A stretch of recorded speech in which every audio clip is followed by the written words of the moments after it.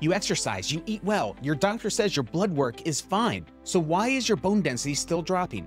Here are five hidden osteoporosis risk factors you've probably never heard of. Number one, overactive parathyroid glands. They drain calcium from your bones, even if your labs look normal. Ask for a calcium plus a parathyroid test. Number two, proton pump inhibitors. Drugs like omeprazole for heartburn. Long-term use blocks calcium absorption and has other negative effects on the bones. Number three, past eating disorders. Even if you're healthy now, low intake in your teens or 20s can have lasting impact.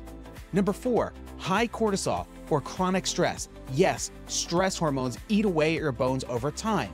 Number five, low stomach acid. It's more common with age, and it means you're not absorbing key bone nutrients like calcium and magnesium. Bonus, undiagnosed celiac or gluten sensitivity. They can quietly wreck nutrient absorption and bone health. If your bone loss feels unexplained, these could be why. Talk to your doctor, get curious, and dig deeper than just a DEXA. Like and follow for more no fluff bone health info.